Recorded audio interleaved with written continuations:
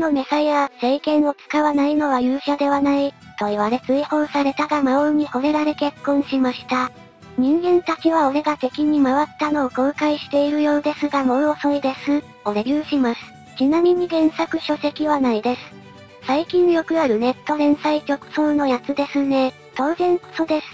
知ってた。まあ漫画家の方は絵は減ったクソですがセンスは感じられるので、ナロー特有の長期連載となる本作の専属としてあと10年くらい頑張って芽を出してほしいですね。書籍が出ないのは、まあ、売れないんでしょうね。原作書籍を出しても。ナロー界隈って、原作の方は1冊1500円とか普通にするくせにクソ率は普通のラノベの100倍近いので、コストパフォーマンスがね、さすがに悪いんやなって。あとそもそも小説を読む人が減っていますしね、出しても売れない、かといって安く売るには部数が避けない、となると、単価を上げて少なく売る。こうならざるを得ないので、そりゃ買う人も減るわなって感じです。企業側がそうしたんだから、完全に自業自得なのですがね。企業連中の先の展望が薄すぎるっぴ？知ってたけど、それでは裏筋から、魔王軍と人間軍の戦いは勇者の出現とともに人間軍の優勢となった。しかし、その手には勇者の象徴である政権が握られていなかったのだ。なので拷問の後にクビになりました。なんで、なんで、なんで、実際大活躍して魔王軍を退けていたのだが謎の政権至上主義があるこの世界においては、政権を使わず大活躍した主人公君は偽の勇者であり処刑されるべき人物であるのだ。ちなみに拷問の後首となり釈放されて玄関から普通に出ていった主人公君には、多額の賞金がかけられておりこれによって即座に町の人々から命を狙われるようになったのだ。捕らえて拷問している最中に賞金がかけられていたのにわざわざリリースする貴族くんの神采配。町の人々から逃げている途中で元勇者パーティーの仲間と合流することができたのだが、彼らも勇者の命を狙っており路地裏に引き込んで攻撃を仕掛けてきたのだ。これを超優秀な勇者くんは返り討ちにし、街の外に出て魔族寮に逃げることにする、歩いて、意外と近かった魔族寮。描写を見ると人間族の人から逃げてきたはずなのですが、人と魔族寮がガチ恋距離な世界なのだがどうやら魔王城もガチ恋距離にあるらしく、数日歩くと魔王城に到着しました。国防とか、大丈夫なんですかね？東京埼玉間くらいの距離にあるらしき魔王城の門番に身分を聞かれた勇者くんは、逆ギレして門番くんを殴り飛ばしちゃったぞ。そんなんだから勇者をクビになったんやろお前。その後も逆ギレに身を任せて門番、衛兵、四天王を片っ端からボコって突破した勇者くんは、あっさりと玉座の間に到着。魔王もろちん女でしかも露出も激しい美少女と対面、どうも、魔王さん、元勇者です。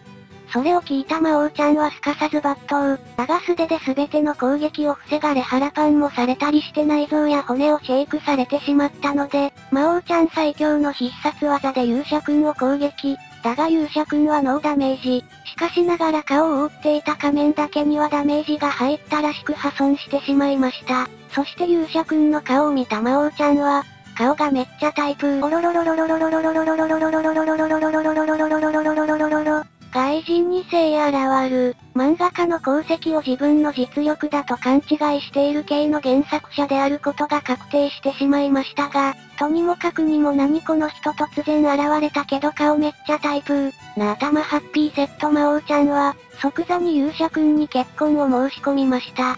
外事かな？すまん外事だったわ。まあそんなわけでプロポーズされた勇者くんも魔王ちゃんの顔がいいという理由だけで勘落ちし、ここに新たな夫婦が誕生したのだ。ナロう系史上歴代最速結婚ではなかろうか。悪い意味で、というわけでお互いの容姿のみを褒め合うことで愛を育んだつもりになっている狂気の世界にて、人類は敗北が確定してしまったんだってさ。もうこの世界リセットした方が良くない？というところで第1話が終わりましたね。おろろろろろろろろろ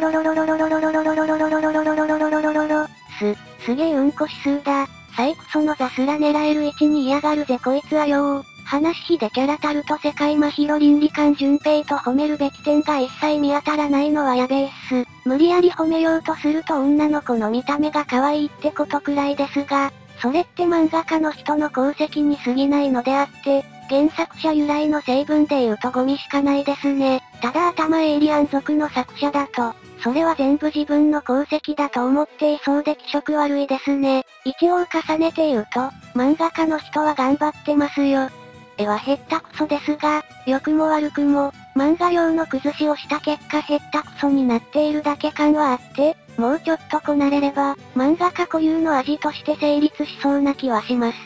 トラウマイスタの人みたいな感じ。でも残念わらわら全部原作者が自分の功績として吸い取り回すわらわら。ナロー漫画家の悲哀やな。あ、ちなみに勇者の証的なあれである政権は人間の国に置いてきたそうです。さらに言うと、すでに別の勇者が政権を抜いていたそうです。へえすごいな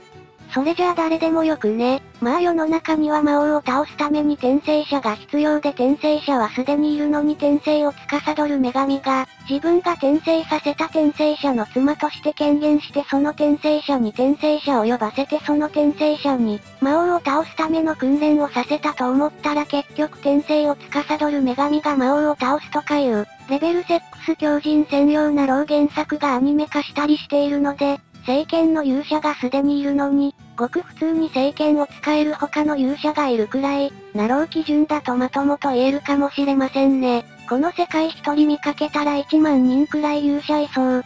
ゴキブリか何か、なお魔王と勇者は即日ベッドインしました。円光やリマンビッチでももうちょっと節操あるぞそれ。さて新しい勇者が手に入ったのでやることは、そうだね、侵略だね。動員数5000人、出発から4日で魔王軍の砦に到着するんだってさ。それ下手すると20キロも離れてないんじゃない？往復でマラソンしてもなお余るのですが、これに相対するのは、そう、この、俺様、元勇者の部隊式による、1000人だ。魔王軍には致命的な弱点がある。それを補えば、5000人対1000人で楽勝よ。5000人、包囲殲滅人、うっ、頭が、さて決戦当日、元勇者様が見る魔王軍の弱点講座の時間だ。魔王軍の弱点とは、それは、魔王軍は、支援魔法を一切使っていないことだそれを聞いた魔王軍四天王は、支援魔法、と聞き返すぞ。というわけで支援魔法の概念さえ存在しなかった魔王軍はわずか4日で全員が支援魔法を覚え、5000人対1000人でも互角どころか楽勝で勝てるようになったのだ。こいつはすげえぜ。すげえのはお前の湯だった頭の方だってそれ1。毎回言うことだけど書いてておかしいと思わんのか。まあつまるところ、単純に実力の足りないゴミ作家が必死こいて考えた戦術、かっこ爆笑を、無理やり使うために全世界の人類の知能に大幅なデバフをかけて成立させるという、いつもの頭デバフ型戦術式ゴミなろうですね。最近はこういうのは減っていたのですが、残っているところには残っているものですね。この世界のゴキブリ勇者並みのしぶとさですね。なんだかんだで普通の、パーティーを追放されて他のパーティーで活躍してざまあし返すとかは、わざわざざまあし返すというなろう界隈における性格の悪さに目をつむりさえしておけば、小集団と小集団による小競り合いの範疇で肩がつくので致命傷にはなるけどなりにくいのですが、これが追放されて王族に見初められて軍隊を指揮してざまあしてとかになってくると、小集団ガバ対小集団ガバではなくなり、全世界側にまで拡張されてしまうので、作者の頭と同じように手遅れになるんですよね。まさに致命的な致命傷となってしまうわけです。本作もまあそれですね。言うて包囲殲滅人のあれ以降こういうのは少なめではあったのですが、やはりナローは同じところを延々とぐるぐるしているだサイクルの極みみたいな場所であるので、半年も放置すると同じタイプのゴミが湧いてくるんですよね。カビキラー巻かなきゃ。ちなみに包囲殲滅人は5000人を300人で包囲する人類史上最強の戦術ですね。実際は100人の突撃で2000人を無傷で撃ち取るので3000人を包囲する戦術ですが、本作はそれと同レベルの超戦術であると言えるでしょう。主人公様がもたらした画期的技術で、5000人相手2000人で無傷勝利。V やねん。すごいなぁ憧れちゃうなぁ。無傷勝利ってところがポイントね。比較的まともな作品だと割とギリギリで勝てるとかになりますので、さてこのままだとマジで無傷勝利を敢行してしまうのでここで真の勇者を投入するやでー。ガッシボか。私は死んだ。スイーツ。支援魔法をかけて弱点を克服した魔族程度では、勇者パーティーには手も足も出ないのだった。パワーバランスめちゃくちゃやんけ。一般兵士とかわざわざ連れてこずに最初からお前が出とけやというツッコミは置いといて、弱点を克服できていない弱点を克服した魔族の代わりに最初から世界最強の元勇者君入場。弱点を克服した弱点を克服できていない魔族を一方的にボコっていた勇者一行に対して、一方的にボコり返し聖剣を使った勇者相手に対しても一方的にボコって腹パンして勝つぞ。支援魔法とかわざわざほざかずに最最初からお前が出とけやというツッコミは置いといて、弱点を克服した弱点を克服できていない魔族を一方的に倒せる勇者一行にとどめは刺さず、王への伝言を頼んで返しました。いやとどめはさせや。勇者一行がいなければ、魔族側は無傷で勝てるんだから、刺さない理由がないやろ。